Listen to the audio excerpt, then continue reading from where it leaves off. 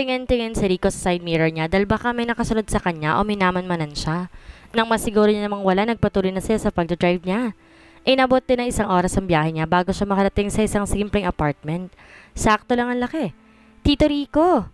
Sigaw ni Gabriel na makita niyang kakaparkin na kotse ni Rico. Napangiti naman si Rico sa kanya kinuha mga dala niyang pasalubong para sa pamangkin. Mano po? Magalang niyang saad sa tito niya. Nagulo naman ni Rico ang buhok ng pamangkin. Saka ito binot at sabay na silang pumasok sa loob. Rico! Gulat pang usa ni Amor na makita niya si Rico. What are you doing here? May kasama ka ba? Tanong niya kaagad. Wala. Mag-isa lang akong pumunta rito. May mga dala pala ako mamimerenda muna kayong dalawa. Uwi ka niya. Nakahinga naman na maluwag si Amor dahil natatakot siyang baka kasama ni Rico si Ashton o baka nakasunod ito rito.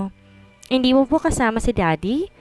Tanong naman ni Gabriel kaya naiiwas ni Amor ang paningin niya sa anak. Ilang araw na siya nagtatanong tungkol sa ama niya pero paulit-ulit din ang mga dahilan ni Amor sa anak. Nasa labas pa siya ng bansa, baby eh. Hintay mo na lang kapag bumalik na siya, okay? Sagot naman ni Rico. Yun kasi ang dinahilan ni Amor sa anak niya na nasa labas ng bansa si Ashton. Na maglaro si Gabriel sa salas na iwan si Rico at Amor sa kusina habang nagmimerienda. Bakit di mo pa rin kinakausap si kuya? Alam mo namang hahanapin at hahanapin ni Gabriel ang daddy niya. Tanong ni Rico. Napabuntong hininga naman si Amor hindi niya alam kung kakausapin pa ba niya si Ashton. Rico, dinig na dinig kong balak nila ni Catherine. They are planning to take away my son from me.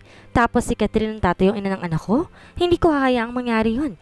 Hanggat kaya kong itago talaga si Gabriel sa kanila, gagawin ko. Naiintindihan ko naman ang nararamdaman mo pero sa tingin mo ba, habang buhay ka makakapagtago kay kuya?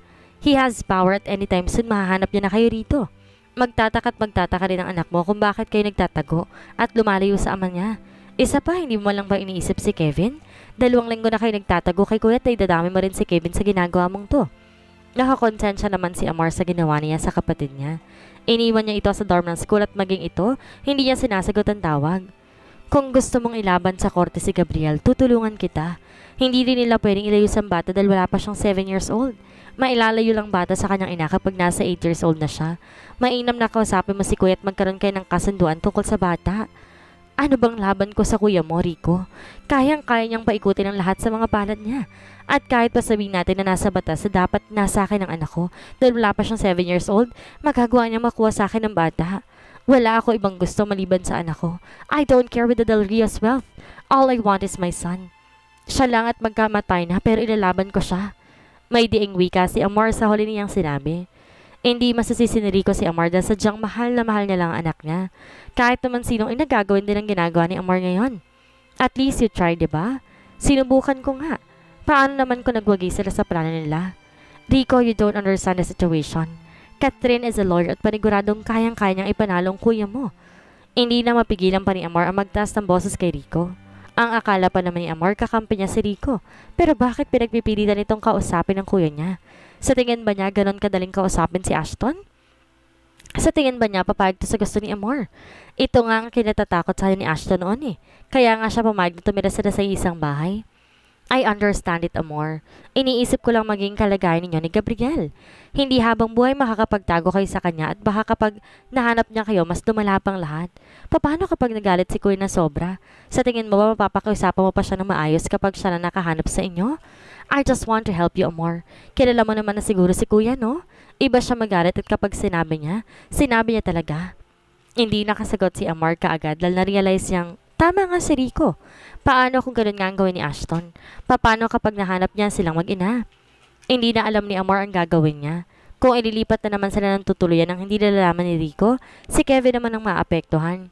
Kung ililipat na naman ng school si Kevin, imposible namang hindi matrack ni Ashton ang bagong school ni Kevin, lalo pat kailangan alamin ng current school niya kung saan school siya ililipat. Napabuntong hininga na lamang si Amor. Gulong-gulo na siya. Hindi siya makapag-isip ng maayos. May punto naman si Rico pero paano kung nakuha na ilayo ni Ashton si Gabriel sa kanya? Yun ang kinatatakutan niyang mangyari. Ayaw niya man na para silang takas sa preso na nagtatago at magpapalipat-lipat ang titirahan. Hindi sila magkakaroon ng katahimikan at kapayapaan kapag magtatago lang sila na magtatago. Daddy! Malakas ang tawag ni Gabriel.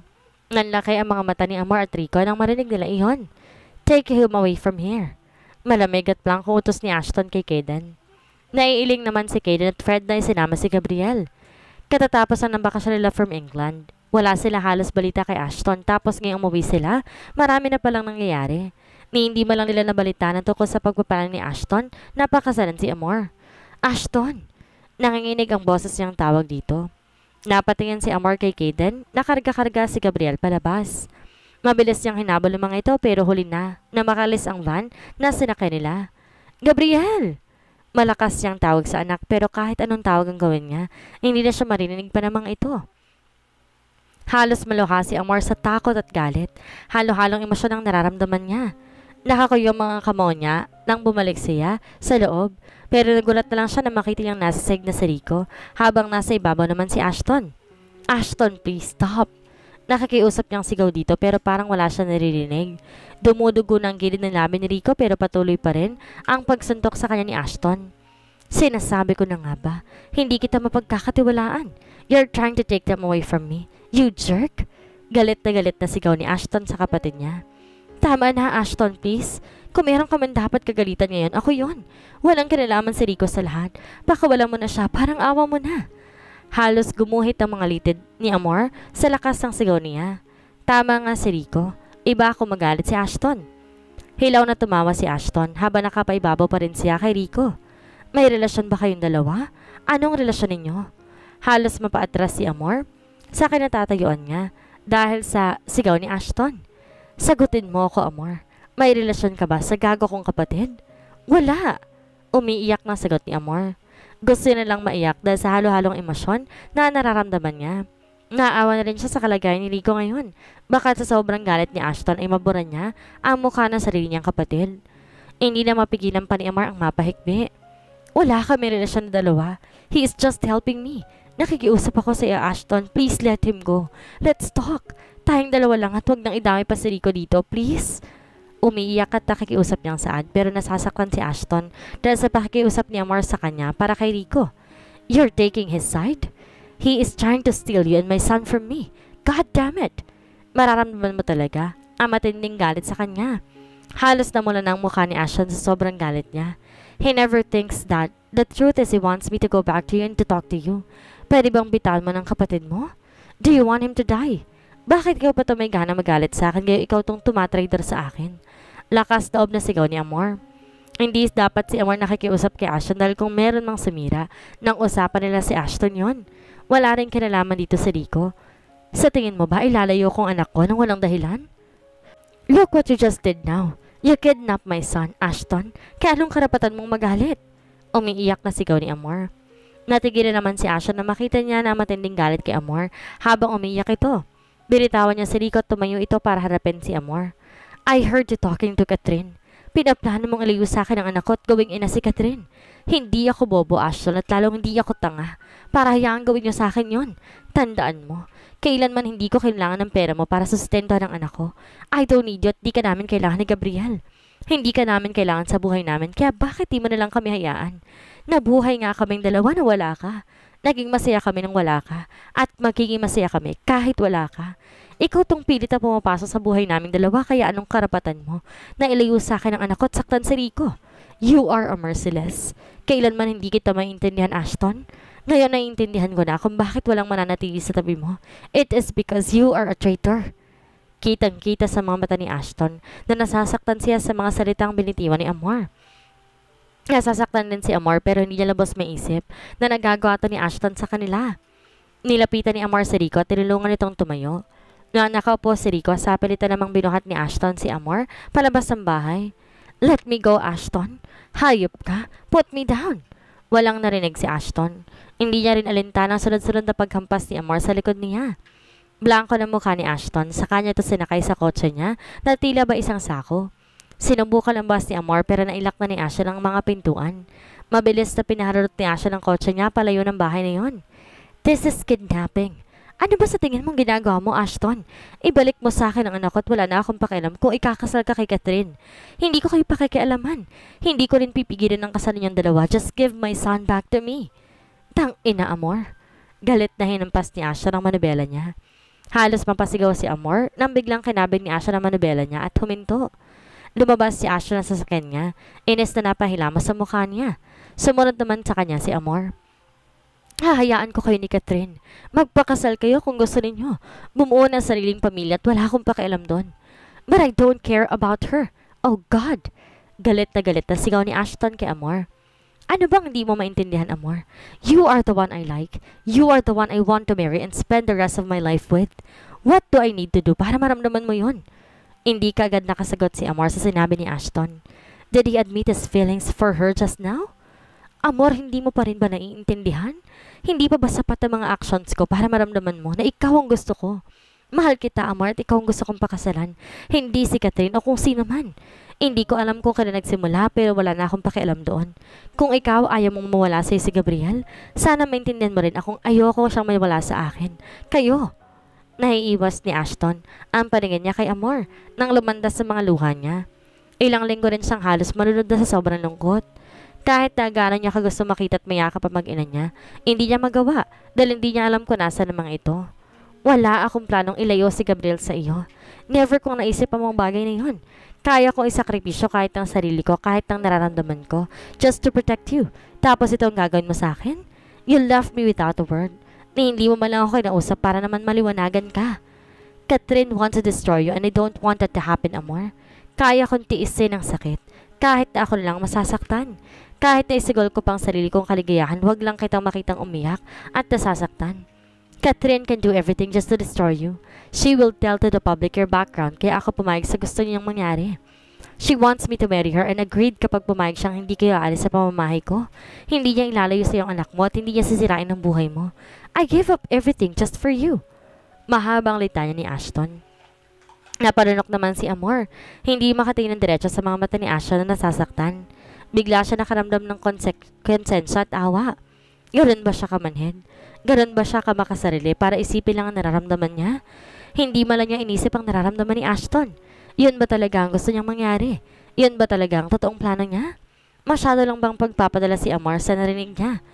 Naitakip na lang ni Asha ang dalawa niyang palad nang mapaiyak na lang siya dahil sa halo-halong emosyon na nararamdaman niya. He is a man. He knows that. Pero hindi niya mapigilan ng paglandas sa mga luha niya. Masyado na sang nasasaktan at hindi niya na kanya itago pa iyon. Halo-halo ng problema niya na halos hindi niya na alam kung anong unahin. Tila pinipiga naman ng puso ni Amar habang nasasaksihan niya ang pag-iyak ni Ashton. She is speechless. Hindi niya alam kung anong isasagot niya kay Ashton. Ang akala ni Amor siya lang ang may mararamdaman kay Ashton pero lingid pala sa kanyang kaalaman na nasasaktan niya na pala si Ashton na hindi niya lang malalaman. I'm sorry. Tanging nasabi na lang ni Amor at naiyo ang ulo niya. Nagigilty siya pero bakit parang siya pa itong mali? She just want to protect her son too. Takot lang naman siyang mawala sa kanyang anak niya. Kung ganoon habang pinoprotekta ni Amor ang anak niya, pinoprotektahan din sila ni Ashton. Pinalisan ni Asha ng mga luha niya. Hindi niya na gustong magmumukha siyang kawawa. Gusto niya lang mabawi ang mag-ina niya at may balik ito sa kanya. Come back to me, Amor. If you are truly sorry, come with me and don't you ever to remove this ring from you. Ibinalik niya siya ng singsing na binigay niya kay Amor noon. Nang umalis kasi ito, iniwan ni Amor ang singsing sa kwarto. I told you, let's me fix everything. Ilang beses ko bang sasabihin sa'yo na huwag mo akong tatakasan at iiwan. Ginagawa ko makakaya ko habang ikaw. Ginagawa mo rin ang makakaya mo para makapagtago sa akin. Amor, kayong dalawa lang ni Gabriela mahalaga sa akin. At hayaan mo naman sana kung ayusin kong lahat. Wala akong pakialam kung ikakasal ako sa ibang babae. Ang mahalaga na sa tabi ko kayong dalawa. Kahit may kasal ako sa iba, tandaan mo, nasa iyo pa rin ang lalaman ng puso ko, amor.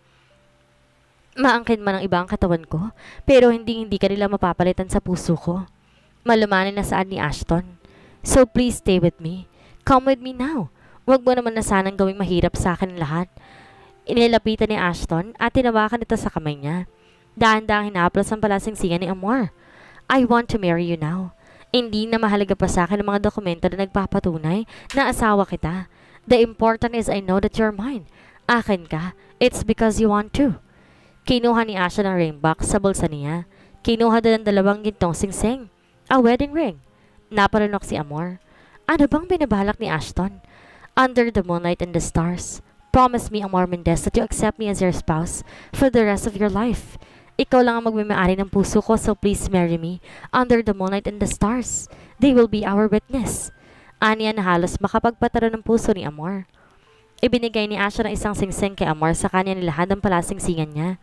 Naguguluhan pa rin si Amor sa nangyayari pero tila ba may sariling isip ang katawan niya. I will. Sagot niya at sinotang singsing kay Ashton. Under the moonlight, I, Ashton Del Rio, take you, Omar Mendez, to be my wife, to have and to hold from this day forward, for better, for worse, for richer, for poorer, in sickness and in health, to love and to cherish until we are parted by death. This is my solemn vow. Wika ni Ashton at dahan-dahang sinotang singsing kay Amor. Hindi makapaniwala si Amor na matapos silang paghanda ng kasal nila. Sa ilalim ng sikat ng balat mga bituin sila may kakasal. Wala na rin siyang pakialam doon dahil hindi naman mahalaga sa taong nagmamahalan ang bongga ng kasal.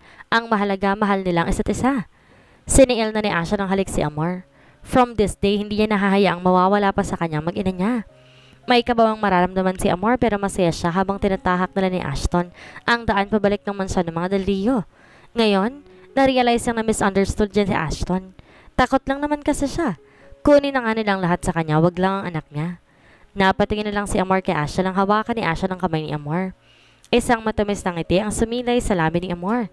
She broke her promise to him at ngayon sasama niya na si Ashton sa bawat laban sa kanila. Next time, please talk to me first before decide para hindi tayo umabot sa ganitong sitwasyon.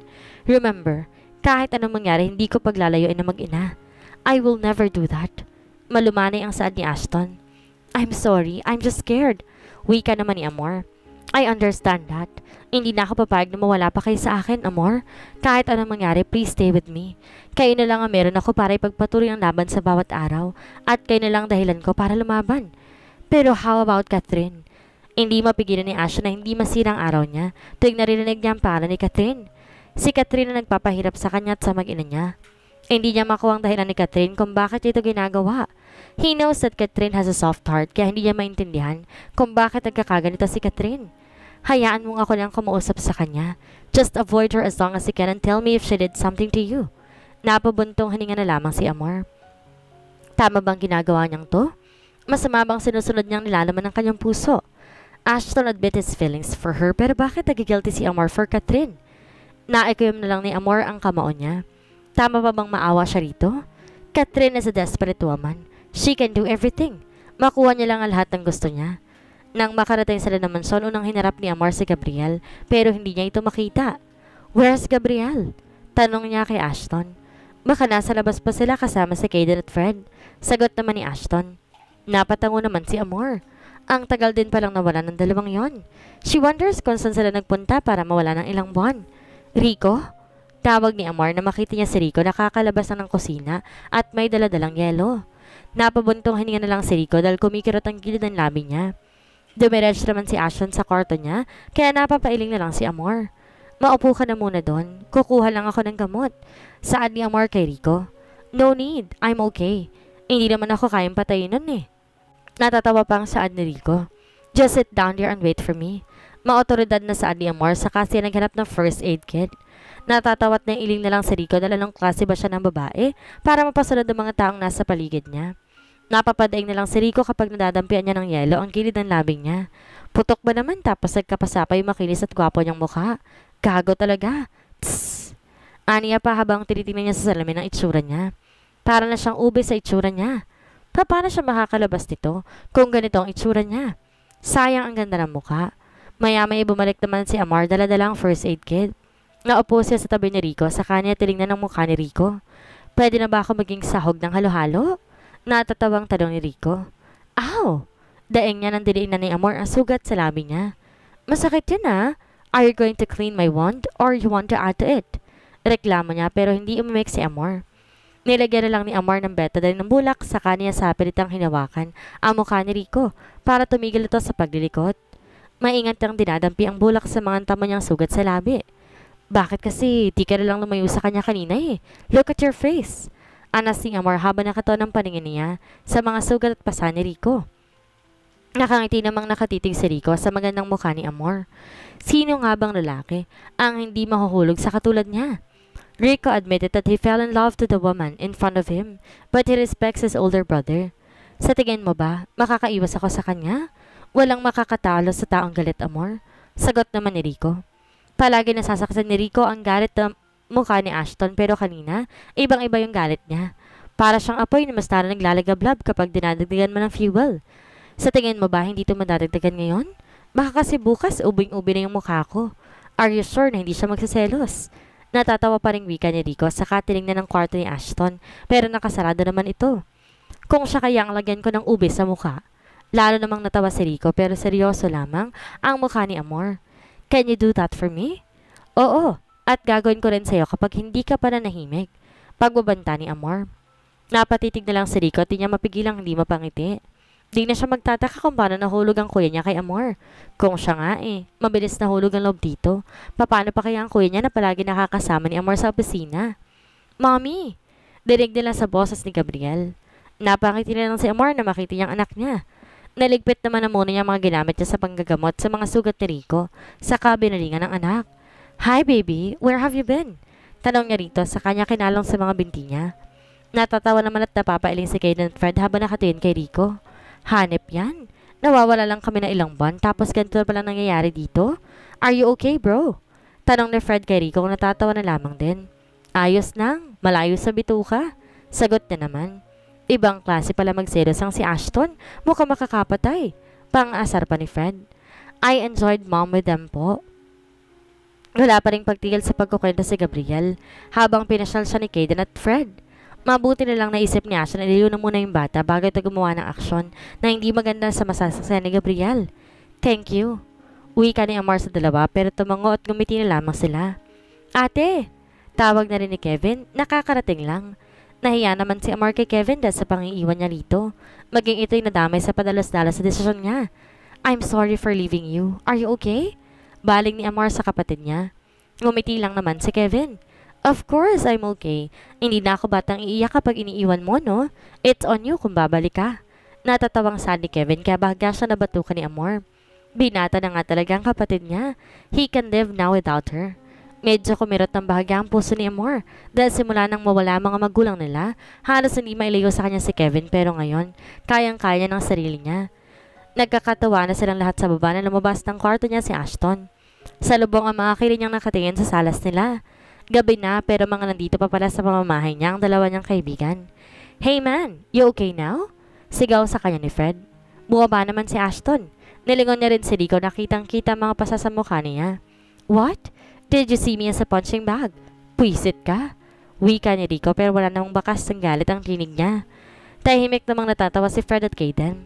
They spend the time talking to each other hanggang sa maisipan nilang matulog. Kinumutan na nga ni Amor si Gabriel dahil mahimbing nitong natutulog. Nakasandal naman si Ashan sa pader habang nakamasid sa bawat kilos ni Amor.